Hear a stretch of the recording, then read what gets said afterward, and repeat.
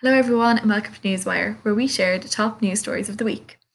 Um, so, to start off, I'm going to look at a particular walrus that fell asleep and found itself in Kerry, which is definitely uh, the break from all the coronavirus coverage we've had over the last few weeks. Um, so, basically, this walrus, who many can relate to after a heavy Zoom call, fell asleep, uh, most likely in Greenland, and found itself uh, near Valentia Island in Kerry um, not where walruses are usually found. Um, its location was not disclosed for a long time because um, people and experts were afraid that it would attract tourists to the area and people trying to take the all important Instagram story. Um, since then, the way the walrus has been spotted in Wales, so it has made its travels once again. And yeah, over to Valerie.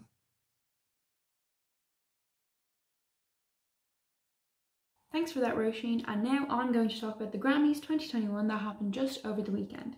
The 63rd annual Grammys Awards show took place on March the 14th and was for the first time held part socially distanced and part virtually. It was hosted by The Daily Show's Trevor Noah, and despite the obvious challenges this year due to the coronavirus pandemic, what with no audience, etc., the show still managed to have an almost four hour runtime.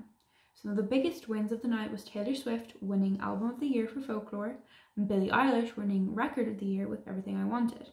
Beyonce broke the record for a female artist with the most Grammy wins, coming to a total of 28 after last weekend's show. And other winners included Harry Styles, Dua Lipa, Ariana Grande, John Legend, and Megan Thee Stallion.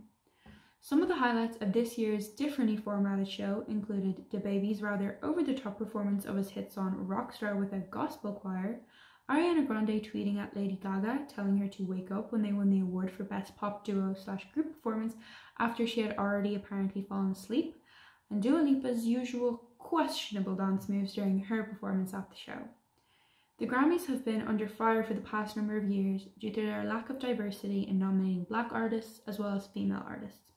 Many artists have criticised the awards show for their lack of recognition where it is truly deserved, as well as common incorrect category nominations. Some examples include Drake's hit Hotline Bling winning Best Rap Song in 2017 despite having no rap in it, singer Halsey calling out the Academy this year to be more transparent after having not been nominated for anything, and Tyler the Creator taking on the Best Rap Album in 2020 for Igor, a record that is not really categorized as rap. This year, another boycott came from none other than The Weeknd himself. After not being nominated for anything, despite his album After Hours being the second most streamed album on the planet in 2020 and his single Blinding Lights breaking countless records, he has said that he will no longer allow his label to submit his music to the Grammys, and he is not alone.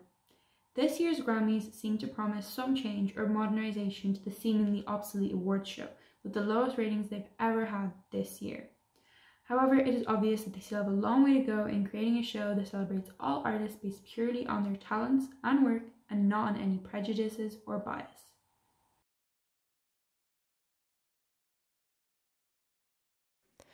Thanks, Valerie. And for our final news story this week on Newswire TV, I'm covering the updates on the vaccine rollout in Ireland. Minister for Health Stephen Donnelly made a statement in the Dáil this week after heavy criticism of the Irish government on the slow rollout of the COVID 19 vaccine. In the statement, Minister for Health Stephen Donnelly said that four in every five adults in Ireland are to be offered one to two doses by the end of June if pharmaceutical companies adhere to the delivery commitments promised by the end of March, 1.1 million doses of vaccines from the three different companies supplying vaccines in Ireland are to be received, with a fourth company under the name of Janssen starting to supply vaccines come April.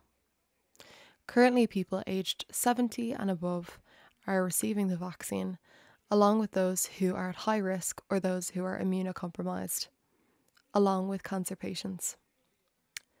More transmissible variants have kept the cases high daily, according to Minister for Health Stephen Donnelly.